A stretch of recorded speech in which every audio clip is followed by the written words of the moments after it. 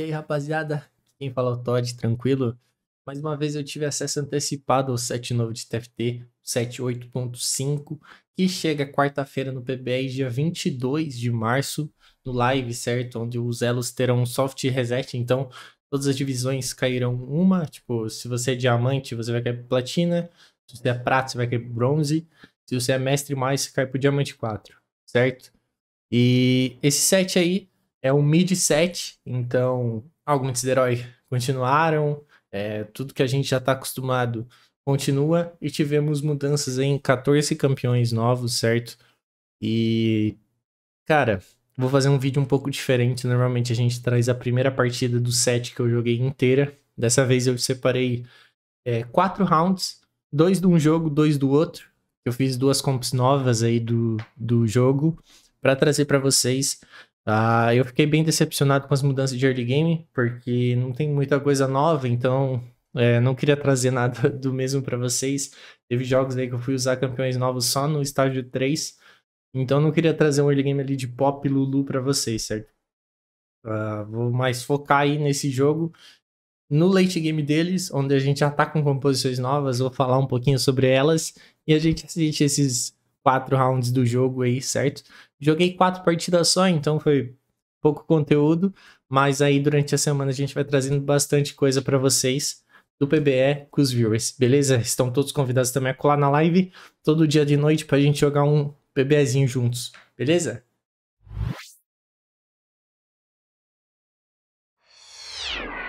Rapaziada, primeiro jogo aqui eu trago para vocês é um jogo que tem aí sua base infinitim, sinergia nova, e essa sinergia faz o seguinte: ela cria portais no campo, certo?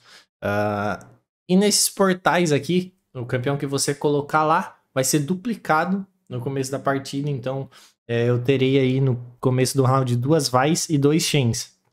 Essas cópias vêm com itens aleatórios é, e a quantidade desses itens é baseada nos augments que você tem. Você já escolheu três augments, serão três itens. Então vai vir uma vai com menos vida, menos dano, mais três itens. Porque eu já tenho três augments. Então no estágio 3 ali é dois, estágio 1 é um item só. Estágio 2, no caso.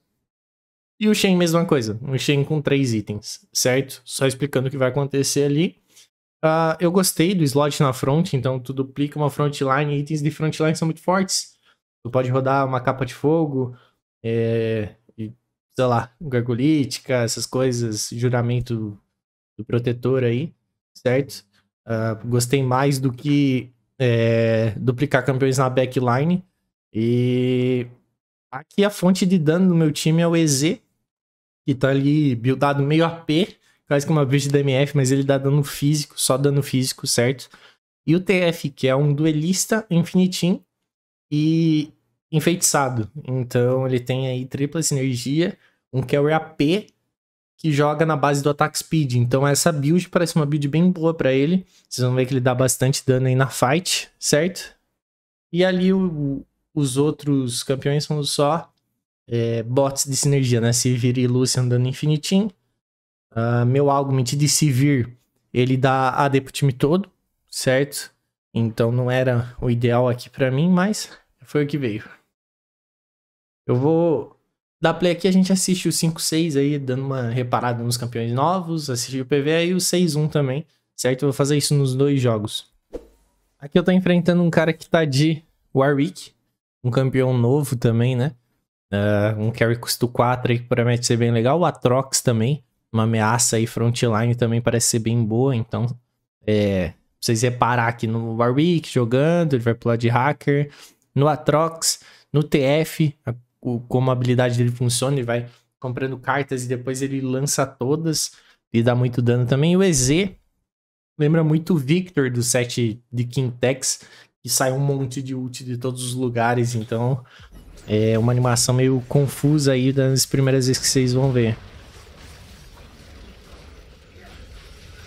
Def burstou o Warwick. Essa é a ult do EZ passando, sai de todos os cantos do mapa. Ali o Atrox dele tancando bastante, ele suga a vida dos inimigos perto ali, tipo, tanca muito, dá bastante dano também se buildado.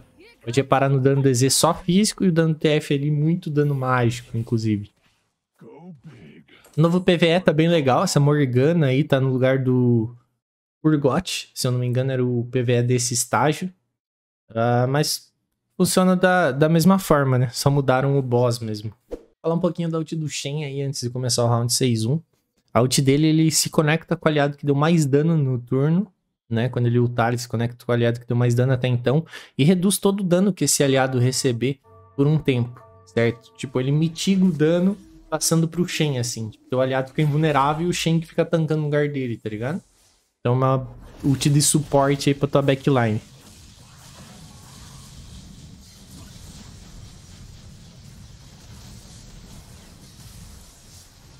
Meu inimigo ali tava jogando de Jin Carry, tinha WW também, mas o Jin dele tava 1, né?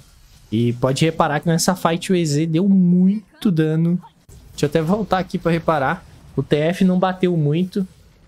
Acredito pela resistência mágica, mas o EZ deu muito dano na backline. Certo? Então a ult do EZ aí buildada com... Pode ser até itens de mana, mas focado em, em dano de ataque também tende a ser bem, bem da hora, certo? Ser um, uma win condition boa aí pra, pra build de Infinity. Eu vou agora para outro jogo. Eu fiz uma build diferente aí com campeões adorados pela galera. Garen Jin, certo? Mecha Garen voltou. E o Jin renegado Rift Walker tá bem da hora. Também todo mundo curte ele. Então bora pra próxima partida. Então aqui tá a comp que eu fiz no outro jogo. Usei Pacto Cruel aí, né? Infelizmente não consegui estricar aí pro level 8, mas morri no 7 com uma comp bem legal. Uh, tô usando o Mac Draven Jax, conhecido pela galera aí. Uh, e o Mac que eu tô usando, o 7 saiu e entrou o Garen no lugar. Lembra muito aquele, aquele Garen Mecha que a gente já conhece de sets anteriores. A ult dele é bem parecida também. E vários campeões novos aí na comp. O Viego continua ele, como renegado aí da minha composição, tem uma espátula renegada numa Vex. Tô usando o Jin, que é renegado, como meu principal carry. E esse Zek ali não é uma peça. Ele é invocado quando você tem três Rift Walkers, que é essa energia nova, no seu campo. Então, é, eu tenho um emblema de Rift Walker no Shen, certo? Se não seria o pai que o terceiro. E somando três Rift Walkers, eu invoco esse Zek, que me ajuda aí a, a tancar mais e ele também puxa uma uma das sinergias do Rift Walker mais próximo dele, no caso o Shen, certo? Uh, minha fonte de dano é basicamente o Jin e o Garen, o Garen dá bastante dano também. O Augment de Garen que eu peguei aqui faz ele dar mais dano na ult, a ult dele custa menos mana, mas ele não stuna mais na ult. A ult dele normalmente stuna esse Augment, tira o stun da ult, mas faz com que ele dê mais dano. Não gostei muito. Prefiro que ele tanque e stune lá. Não acho que valeu tanto a pena. E a ult do Jin é um pouco diferente. Não é aquele quarto tiro que a gente já viu muitas vezes. É uma mistura das, dos dois Jins que já passaram pelo TFT. O quarto hit dele é sempre uma bala que perfura através do aliado do inimigo com menos vida. Então ele dá uma bala que atravessa o inimigo com menos vida e causa dano em área, certo?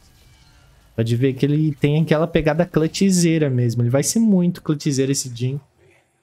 Ah, com item de sustain ali, LW Gumi, essa build parece bem boa nele. Ah, já que ele é renegado, né? Se ficar só ele vivo ali, ele vai dar muito dano. Aqui eu dropei muito item bom no meu Garen, então tem um Garen bem buildado ali. Lembrando muito o Garen australiano. Quem é das antigas aí vai lembrar, quem não é, né?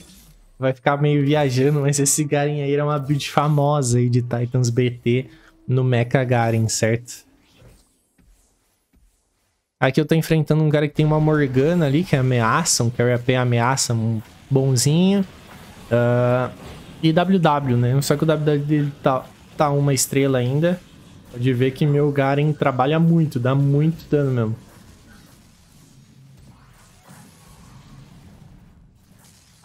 Se liga. Acho que muita gente vai querer testar esse Garen, né? E essa build é muito da hora nele. Titans BT pode fazer que tá aprovado. Olha o dano dele. Mais dano que o Jin, inclusive. Certo? Lembrando que ele tá com algo metido dá mais dano, então acabou potencializando ainda mais o dano dele. Uh, eu vou morrer no próximo turno, porque eu tô de Pacto Cruel, acabo não conseguindo ir mais longe nessa partida.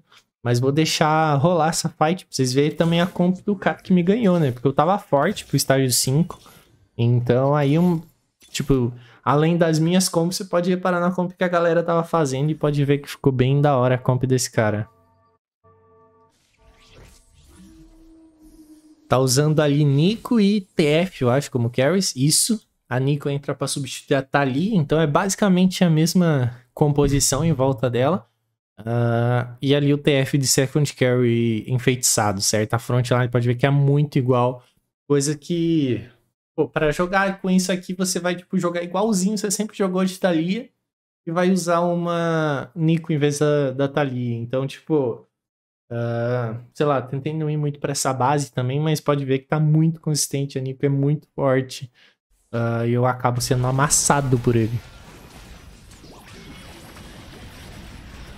até uma crítica, né? Tipo, eu acho que, cara, tinha que aproveitar para mudar a base das composições também. Eles podiam trocar a Lux por outro boneco, tipo, podia ser enfeitiçado Star Guardian, mas só ou trocar a skill dela, tá ligado? Dá uma diferenciada no early game também. Eu senti o early game muito, muito parecido com o que já era, sabe? Tipo, campeões muito parecidos às lojas do early game. Tipo, olha isso aqui eu tenho um, um, campeão novo só, sabe?